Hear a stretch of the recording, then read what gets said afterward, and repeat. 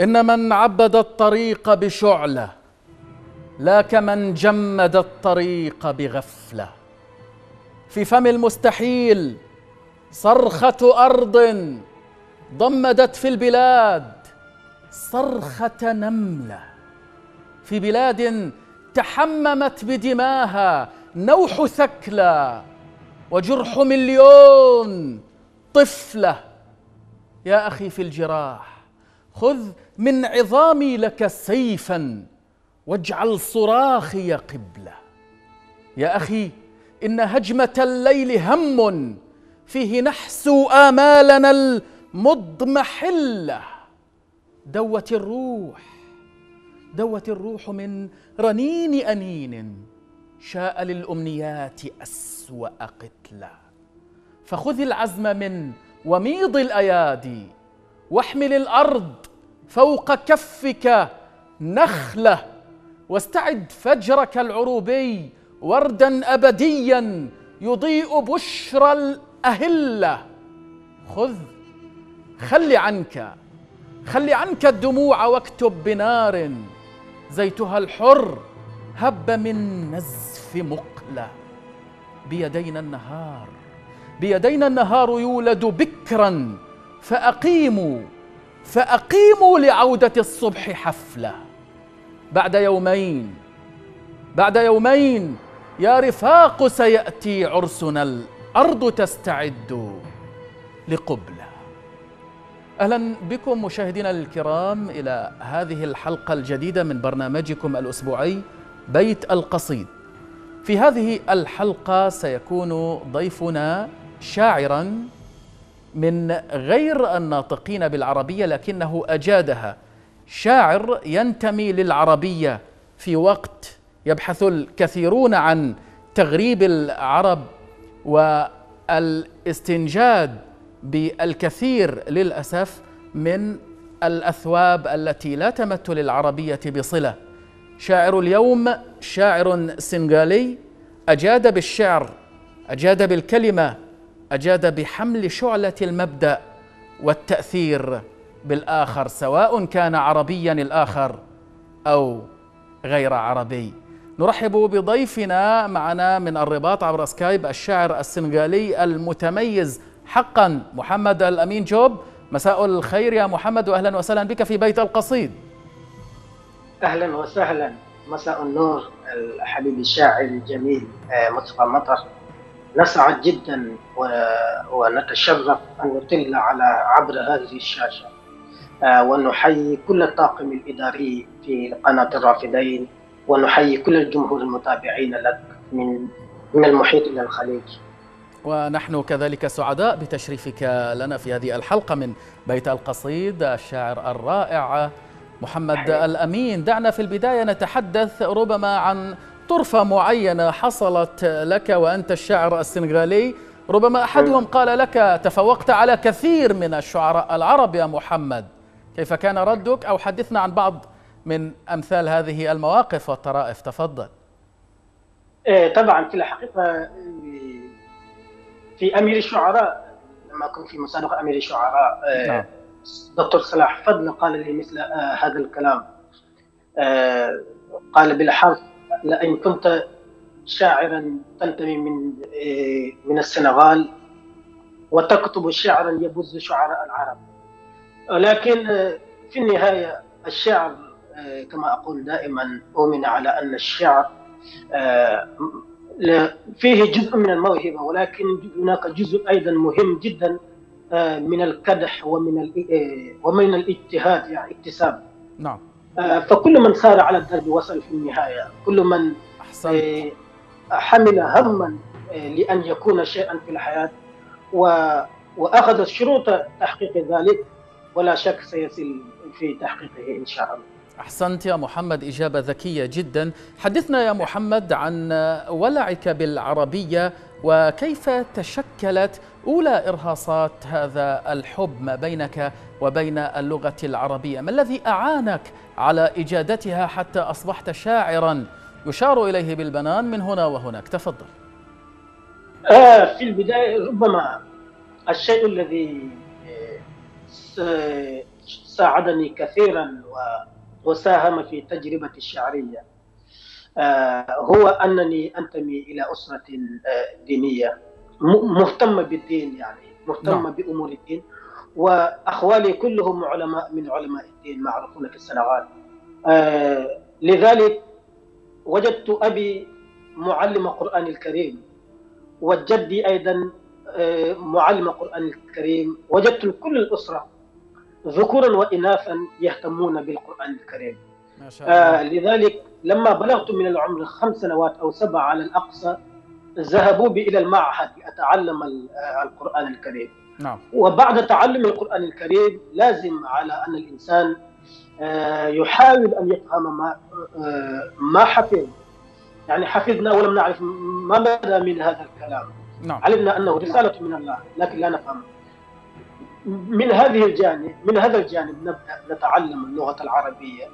وكانت طريقة التعلم أننا نحفظ كمية كبيرة من الشعر العربي الحقيقي بدءا من من الشعر الصوفي متمثلا في البردة المديح وفي الهمزية وأيضا كتب كتب صاحب الجمهرة ابن دريد مقصورة ابن دريد. نعم.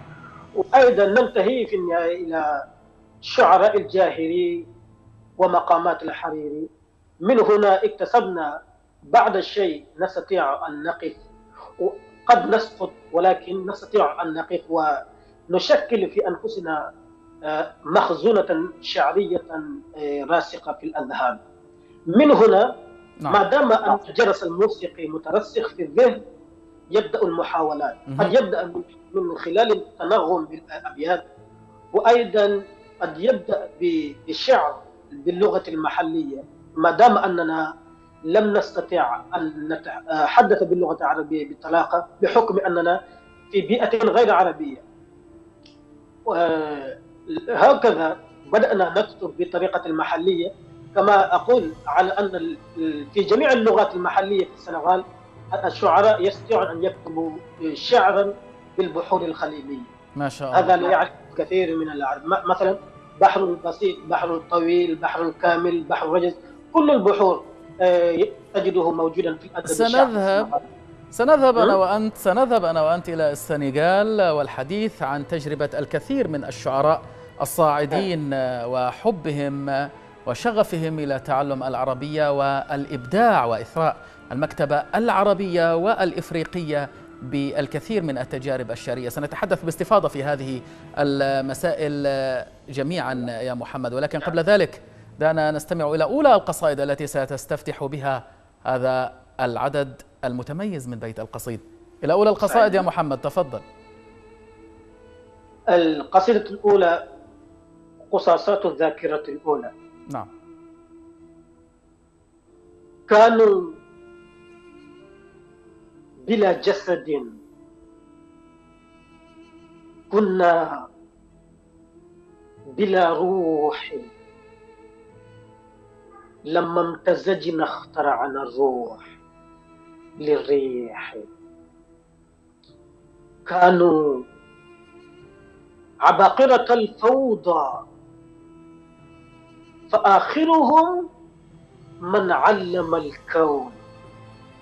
أشكال الأراجيح كانوا حقولا ربيعيين مذ وجدوا صدى الخريف.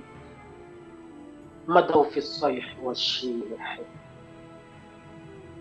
كانوا عناكب.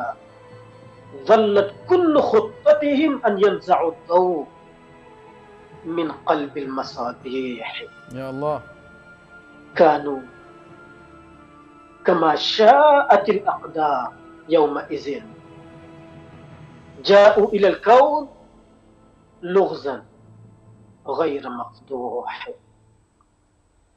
فما وعدتهم لباب الأذكياء لكي أزجي تقاريرهم في شكل تلميح. فما وعدتهم لباب الأذكياء لكي أزجي تقاريرهم في شكل لتلميح قد وشحتهم مواويل الزمان لذا تبدو طلاحينهم من دون توشيح. هم كبروا وأقاموا العصر في دمهم وما أقاموا لها أرض الصليب مجددا هم كبروا يا محمد. هم كبروا وأقاموا العصر في دمهم وما أقاموا لها ألقى التصابيح كانت ما شاء الله. سماواتهم غرقا. تشاكسني لذا طلع السمت جدا في التصاريح. قد فاجأتهم يد الدنيا. قد فاجأتهم يد الدنيا وما ارتبكوا.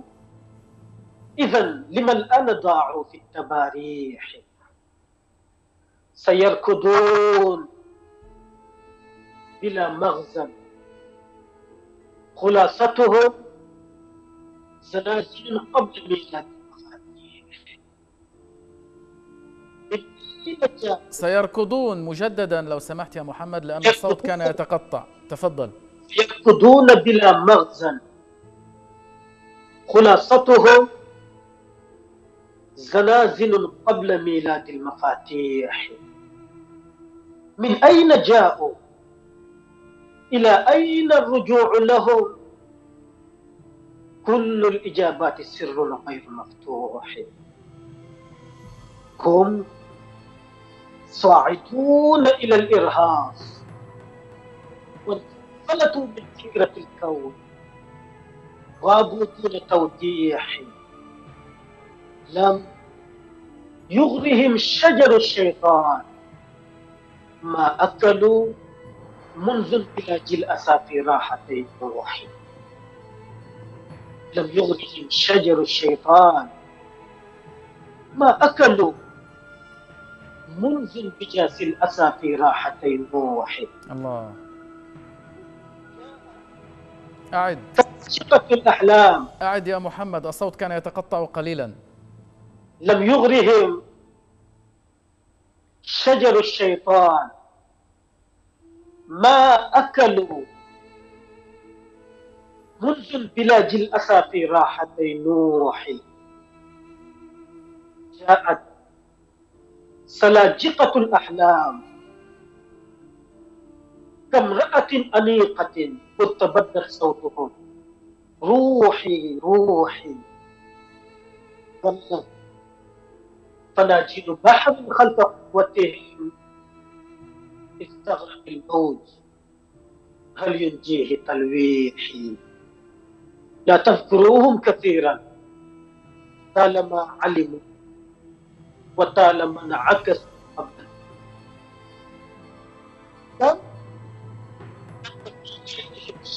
كم؟ مجددا كم دب في ليلهم شكوى وفي فجرهم بلوى فراحوا بلا وجه وتلبيح مضوا وقد خلعوا أرواحهم ثقة. عادوا وما وجدوا غير التماسيح. يا الله. أنهم توجتهم كف معركة يحلقون جريحا خلف مجروح.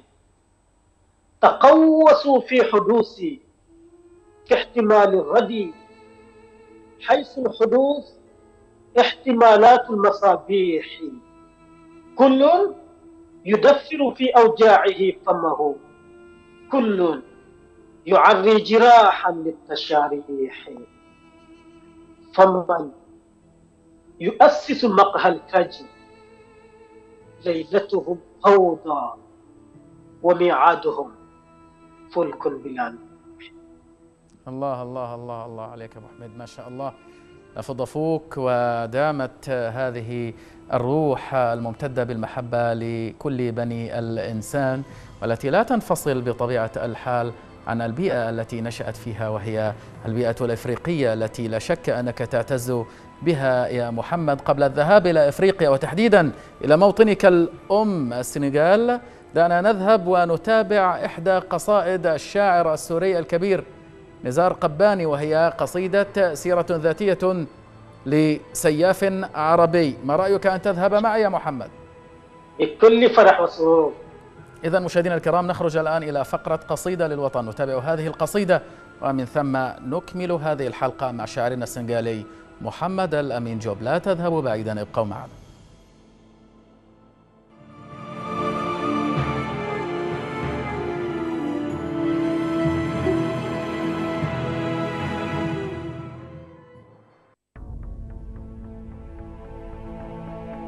أيها الناس أنا المسؤول عن أحلامكم إذ تحلمون وأنا المسؤول عن كل رغيف تأكلون وعن الشعر الذي من خلف ظهري تقرؤون.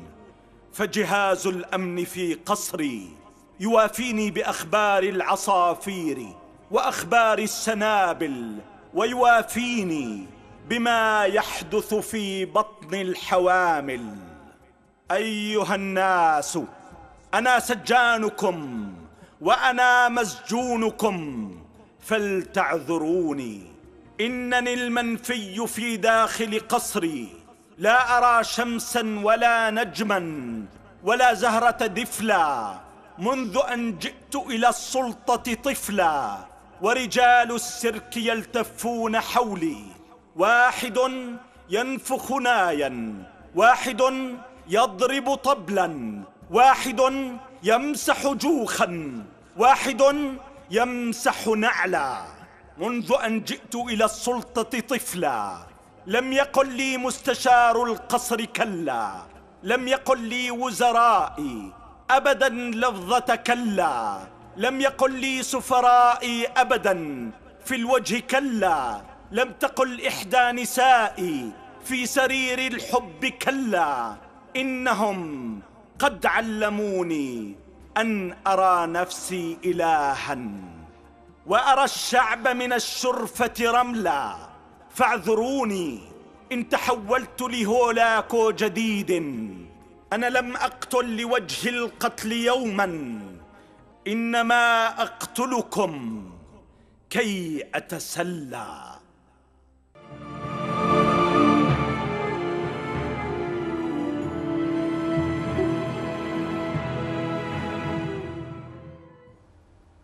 مجددا نرحب بكم السادة المشاهدين الكرام ولمن التحق بنا في هذه اللحظات. ضيفنا عبر سكايب معنا من الرباط الشاعر السنغالي المتألق حقا الأستاذ محمد الأمين جوب. مرحبا مجددا بك يا محمد وأنرت بيت القصيد. مرحبا مرحبا. محمد دعنا نتحدث الآن عن السنغال. وعن الشعوب الإفريقية التي لا تتحدث العربية بشكل عام. دعنا نتحدث عن انفتاح هذه الشعوب على لغة القرآن الكريم ومشهد مضيء لطبيعة ما يجري هناك في السنغال وغيرها من الدول الإفريقية التي تعتز بالقرآن الكريم والإسلام. تفضل. إيه، ممكن يمكن أن أقول على أن الإفريقية إيه، هناك علاقة ممتدة بين العرب والشعب الإفريقي بصفة عامة. نعم. هذا هذه العلاقة كانت قبل الإسلام كانت برابط التجارة كما ذكر ذلك المؤرخون آه، الكبار يعني. وذكروا على أن هناك اللغة العربية وصلت إلى إلى السنغال وإلى إفريقيا بصفة عامة قبل أن يصل الإسلام. نعم. ذلك بدافع التجارة وبدافع التبادل والتواصل الحضاري فيما بينهم. لما جاء الإسلام جعل جعل الإسلام اللغة العربية لغة أكثر قداسة. في فيما مضى كان يستعمل اللغة العربية للتجارة. لكن لما جاء لما جاءت مع الإسلام أصبحت تعمل تحمل نكهة أخرى. كأن بما بمجرد أن تذكر اللغة اللغة العربية نتذكر القرآن. فإذا بما أن اللغة العربية هو هي الوعاء للقرآن فهي مقدسة. نعم. هكذا يبدأ الناس في في طفولتهم يذهبون بهم إلى المكاتب إلى المحاضر والكتاتيب. هناك يتعلمون القرآن وعندما يحفظونه مباشرة يبدأونه على يد الشيوخ آه، يدرسون اللغة العربية ويهتمون به أكثر الاهتمام. آه، بدافع على أنهم سيكونون سيكونون مبلغين لهذه الدعوة الإسلامية لكن مع المدة آه، تتضح تتضح الرؤية لدى كل إنسان وآنئذ يعرف هل يريد أن يكون عالما أو يريد أن يكون مفكرا أو يريد أن يكون شاعرا أو آه، يريد أن يتعمق في شيء ثم يتجه إلى ذلك الأمر نعم نعم. ويحاول أن يروي ظمأه في ذلك المجال. نعم. آه، منذ ذلك الوقت أصبح السنغال وإفريقيا بصفة عامة هناك الشعر موجود بطبيعة الحال. لكن هذا هذا النوع من الشعر محصور بالأمور الدينية. مثلا الابتهالات قصائد استغفارات أستغفر الله يكتبون فيها قصائد ويكتبون القصائد في المناجات أيضا. يكتبون قصائد في مدائح النبي صلى الله عليه وسلم. نعم. لكن أصبح الآن آه، الحالة الشعريه تتطور وتتنوع بفضل الع... بفضل أن العالم الآن أصبحت قرية صغيرة. نعم. أحسنت يا محمد. خذنا الآن إلى قصيدة جديدة. ماذا ستقرأ علينا؟ الآن سأقرأ آه، قصيدة سكارى من الود والعشق. خذنا إلى هؤلاء إذا. إلى شرفة منسية قد توغلوا. نشيش خطاهم زنجبيل معطل. إلى التين والزيتون في واحة الرؤى. يجللني شكي ويحلو التجلل.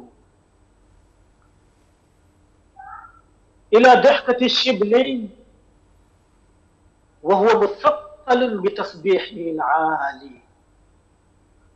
وللآن يثمن. سيشتح حد الانحناء. كشاعر يفيض من الوجد اللذيذ ويخجل. الله. فمنه يغار الكون منذ تجسدت ملامحه أشلاؤه تتأنجل. فمنه يغار الكون منذ تجسدت ملامحه أشلاؤه تتأنجل. تخالجه الأيام. كان كلم يكن ولكنه روح وقلب مؤهل. يضم فؤادا رغم خفة وزنه ففيه تجلى الله. والله أجمل الله. تسكع.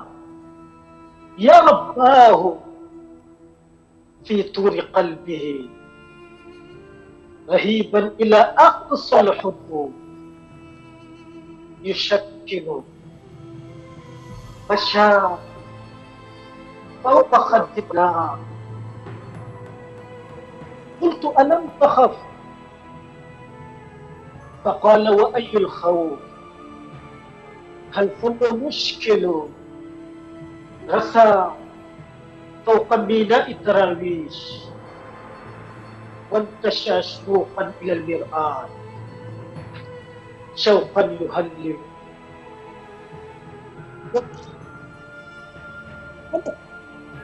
أعد أعد هذا البيت يا محمد لأن الصوت كان يتقطع قليلا. أعد البيت آه. الأخير. رسى فوق ميناء الدراويش. وانتشى شروقا إلى المرآة شوقا يهلل. وبي قلق يبكي ويضحك في الرؤى تكون من عبد بالتناقض أذهل. يبارك للبابا أعد البيت يا محمد على ما يبدو أن هناك مشكلة بالصوت. الآن واضح؟ تفضل. وبقلق يبكي ويضحك في الرؤى. وما زلت من عذب التناقض أذهل دعنا نكتفي بهذا القدر من هذه القصيدة محمد وسنكمل فيما يتعلق بالشعر. بعد أن نخرج إلى فاصل قصير مشاهدينا الكرام ومن ثم نتابع هذه الحلقة. ابقوا معنا.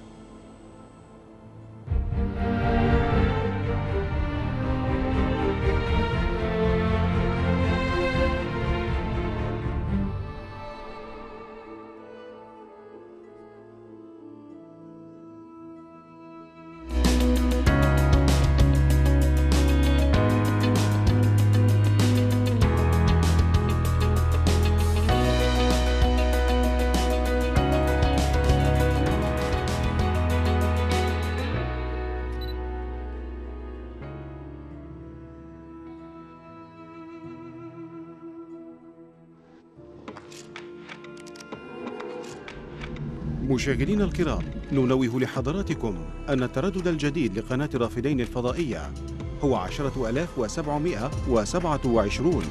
الاستقطاب أفقي على مدار القمر نايل سات. لذا يرجى من متابعينا الكرام ضبط أجهزة الاستقبال على التردد الجديد.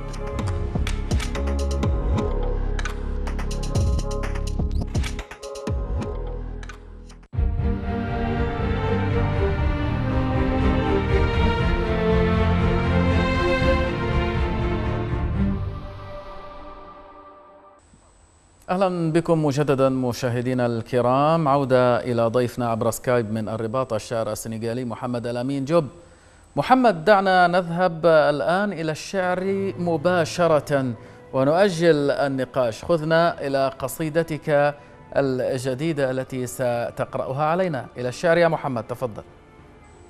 okay إذا سأقرأ قصيدة إيه، قنبلة ووردة. تفضل. عندما اشتدت الرياح استداما انحنى الدرب واستدار تماما. كان ما لا يرى يدق أمامي مرة ثم يستطير حماهما. كان للوقت مشهد غير أني قد ودعت الرؤى هناك ركاما. جميل. وتحملت جرح كل ذبيح. فرنوت الأسى فعاد هياما فتسلقت في السديم. كأني وابن يقظان نستعيد القدامى. فتسلقت في السديم. كأني وابن يقظان نستعيد القدامى. الله الله الله. اهبطوا بعضكم لبعض عدو. أصلحوا الكون واملؤوها رخاما. آدم ما وألف ألف حواء قد أقام الهوى جدارا فقاما. يا ابن سينا طبيب كل جريح. فاشفني الآن كي تعود إماما. يا ابن سينا طبيب كل جريح. فاشفني الآن كي تعود إماما. فالخوارزم شكوت بوتري زاد صفرا. لكي أعد تماما الله الله. لست طينا. حتى تفتش جلدي. أنا ذات الهوى بشكل الخزامة. بي خيال يظل يعكر صفوي حين أعلي على الحضارة هاما. صاحب الطفل وتغنت بلابل الشوق. وهما صاحب الطفل وانحدرت هلاما كل ما في الحياة أجمل لما عادت النار في بردا سلاما. قبل أن قالت القصيدة شيئا كان جن يزج في كلاما لي أم بحجم حبي تغني. منذ ناديتها بياي بوي. وماما يا جنوب الحياة قد ضاق عمري فاكشف الذات أو ترد الحمامة ما شاء الله عليك ما شاء الله يا أبو حميد. أبو حميد دعنا يا محمد آه، الأمين جوب وأنت صديق قبل أن تكون ضيف الرافدين. حياكم الله. آه، دعنا آه، نتحدث انطلاقا من حبك للغة العربية.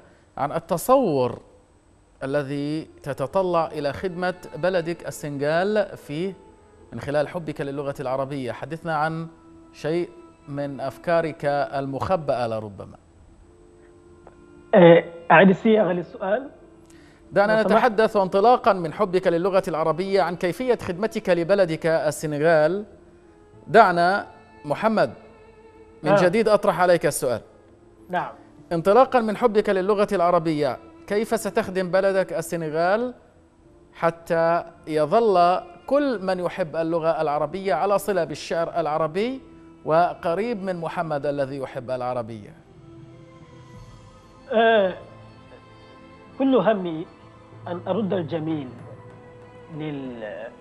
للشيوخ وللأساتذة الذين وضعوا لبنة ولبنات أصلا وضعوا لبنات هامة نعم.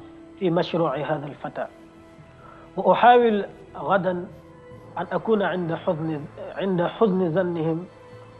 آه وأستطيع أن أطلع لأولادهم ولأطفالهم ما وصلت إليه. وحتى أحاول أن أدعمهم حتى يصلوا إلى أعمق ما وصلت بإذن الله. إلى الشعر مجددا يا محمد فمثلك لا يمل. حياكم الله تفضل. نسعد. إلى قصيدة جديدة.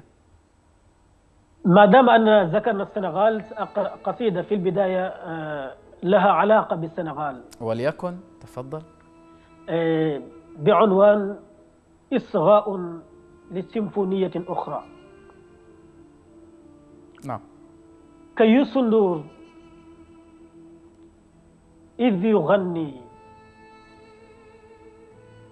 والمدى عسل.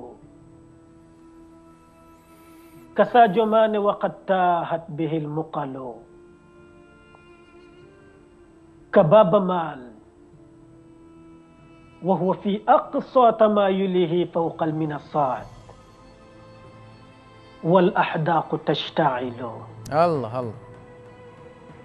ككوتش برم حكيما. جاعلا فمه حلوى الطرائف إذ نذهو ونبتهل. كشهرزاد وقد أدهت عمالقة. كنتش حين يناغي حين ينزعل. وحين يركض من بؤس الحياة إلى بؤس الحياة. فلا يدنو ولا يصل وحين يبكي كأشجار السماء إذا تنزل الغيث حتى تعشب المقل رأيته وكأن الخوف ينهشه والصمت يفسح ما لا تفسح الجمل وكان يصغي لسيمفونيتي أرق. فغام واحمر ثم اخضر يكتمل. وظل يسقط طفلا من عباءته. يسهو وينهد. يرخي ثم يحتمل.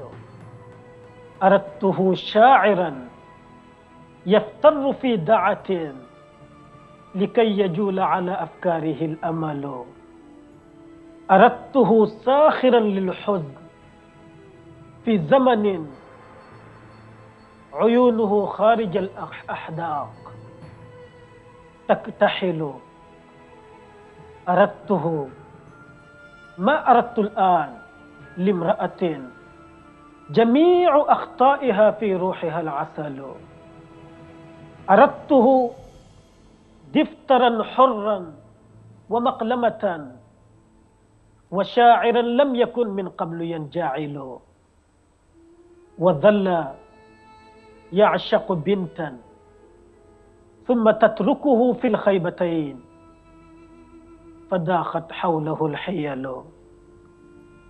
صبرا بكل لغات الأرض يا رجلا قمحا تشكل من مخياله الرجل. صبرا بكل لغات الأرض يا رجلا قمحا تشكل من مخياله الرجل. يأتي واضحا؟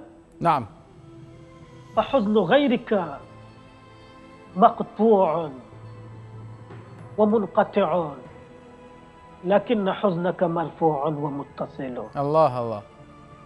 فحزن غيرك مقطوع ومنقطع. يا الله.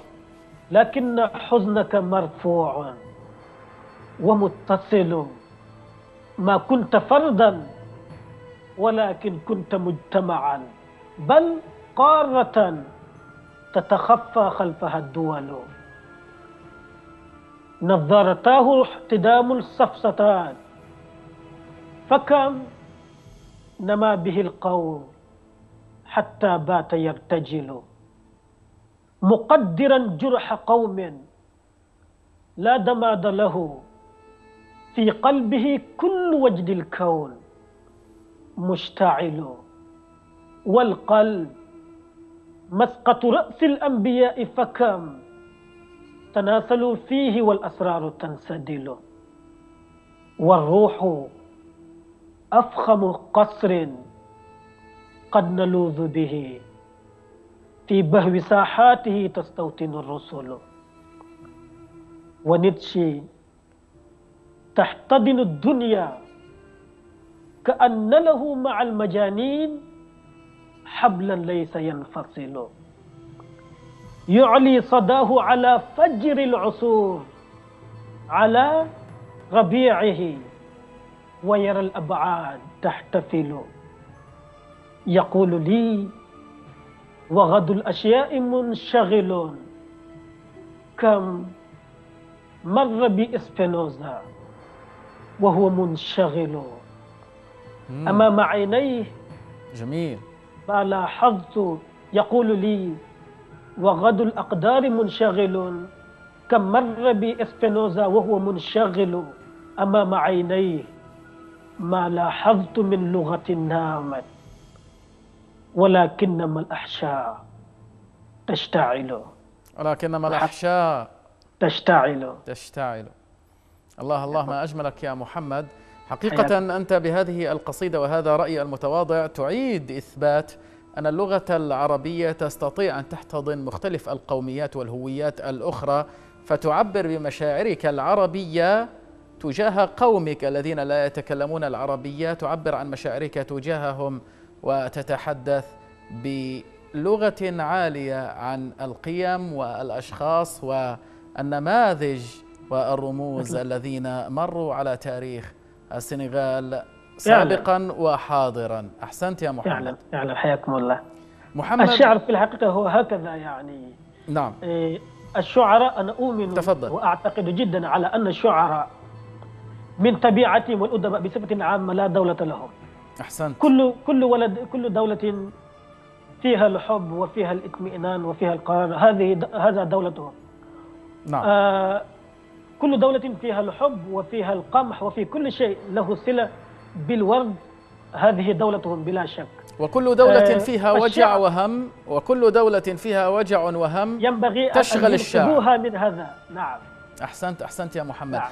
في إطار حديثك عن الدول والسلام والطمأنينة وما يشغل الشاعر من نعم. فكرة سلام عالمي دعنا نتحدث عن تجربة المبادئ والقيم التي ينبغي أن تكون حاضرة في ذات الشاعر ال- ال- ربما لا أستطيع أن أن أعد الكل. نعم هذا لكن مؤكد. لكن دعنا نتحدث عن. فكرة تأصيل ووجوب لزوم أن يكون هناك مبادئ وقيم يحملها الشاعر حتى يثبت أنه أهل لهذه الموهبة. تفضل بالإجابة محمد. بكل تأكيد أستاذ مصطفى كما علمتم آه، الشعر مبادئ. والفن وال آه، والأدب بصفة عامة مبدأ آه، من المبادئ. الشاعر إذا لم يكن له مبدأ قوي فهو لا فرق بينه وبين المغني. لذلك لا بد أن يكون آه، لديه أهداف وأبعاد ورؤية مختلفة. لما لذلك يعد شاعر في الأدب الجاهلي نجد على أن الشاعر هو قائد.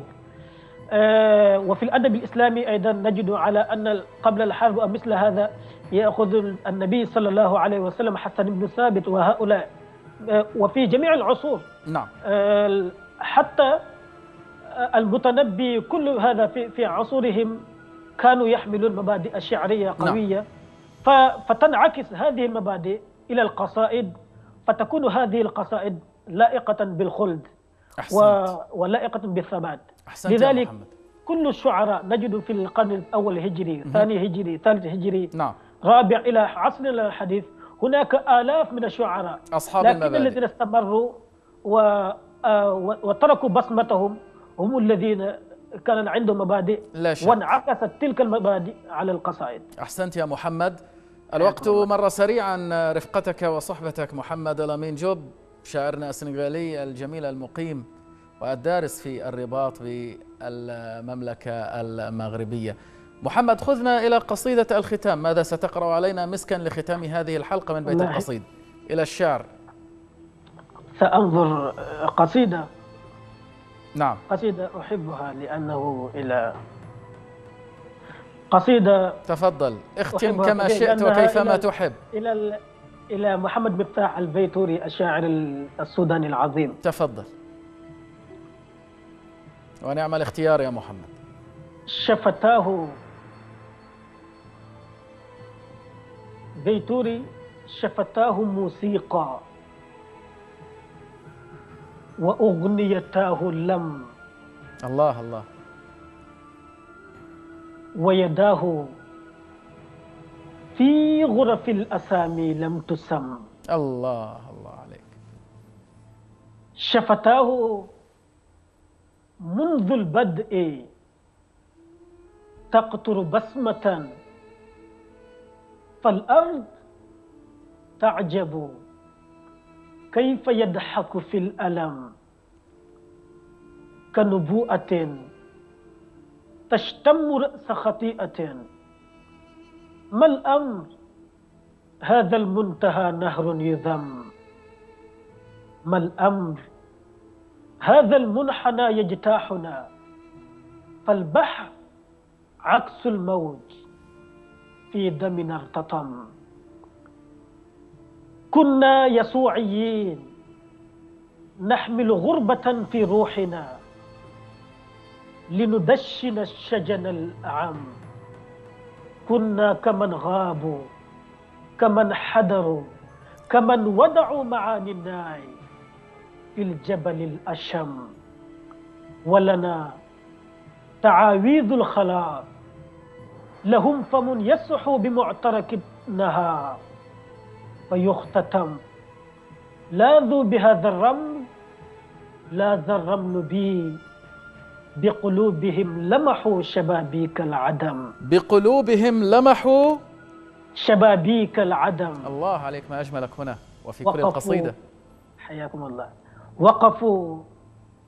وأقدام الورى قزحية جميل. مروا بلا خوف. وظل الهول جم. سرقوا مصابيحا أضاءوا عالما يغري. لكون قد تربع في الظلام. ستقص ألسنة الملائكة قصة إيه. من يوم بدء الخلق. لم تردخ لفم. ستقص ألسنة الملائكة قصة من يوم بدء الخلق. لم تردخ لفم. من قال لا في الشعر أرفض لاءه أرضى بلائك أم بقولك لي نعم الله. هذا الفتى الذهبي يحمل حلمه بشجاعة يرنو ويرتجل القمم. مستعصما بالرعد يحمل سكرا في كفه. يفتر يمسح كل دم. نظارة شغف تؤثر وجهه ليشف في الموجود ما خلف العدم. شفتاه موسيقى وأغنيتاه لم ويداه في غرف الأسامي لم تسم. الله ما أجمل البداية وما أطيب المختتم يا محمد الأمين جوب شاعرنا السنغالي الجميل. في ختام هذه الحلقة لابد من وقفة في النهاية عند نصيحة تقدمها لمحبي ومجربي والصاعدين من الشعراء في إفريقيا ككل وفي السنغال بشكل عام بشكل خاص السنغال وإفريقيا بشكل عام كما تفضلنا وتحدثنا رسالتك إلى كل من يحب العربيه ويحب أن يحترف الشعر ماذا تقول؟ آه، أستاذ مصطفى ربما لست لائقا للنصيحة لكن آه، سأنصح الناس الشعراء جميل هذا التواضع يا محمد. آه، لا هكذا الوضع. لكن أقول أن الشعراء عليهم أن يحاولوا أن يكتبوا الشعر. نعم. أولا ليس الكتابة الشعر فقط لكن أن ينبغي أن يكون لكل شاعر مفهوم للشعر. يعني إذا أردنا أن, أن لابد أن تكون هناك تجارب شعرية مختلفة.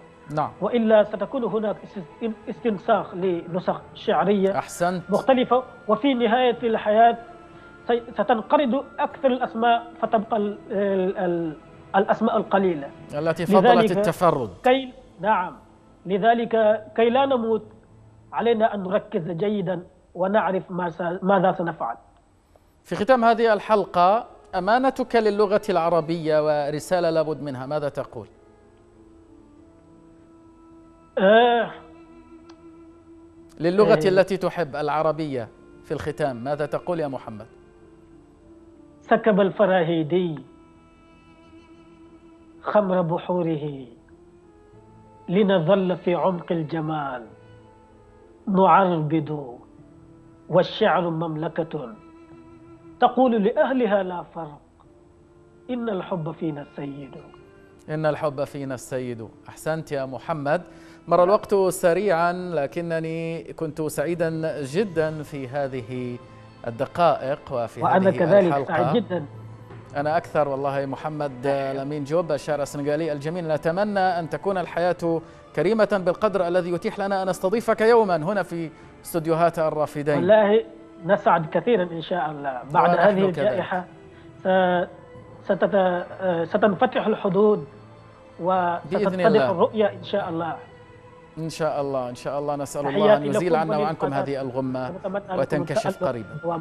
إن شاء الله. شكرا جزيلا. نسخة ديوانكم إن شاء الله. لا مشكلة. شكرا جزيلا لك الشاعر السنغالي العذب حقا محمد الأمين جوب المقيم في الرباط حاليا بهدف دراسة. مشاهدينا الكرام بهذه الأفتاء الطيبة من شاعر أحب العربية فجعل نفسه في محرابها عابدا لله متعبدا بكتابه مقبلا على حبها. في هذه رسالة لكل من ينتمي للغة الضاد أن يعتز بهذه اللغة أن يعتز بهذه الهوية وأن يعمل من أجل رفعة شأنها.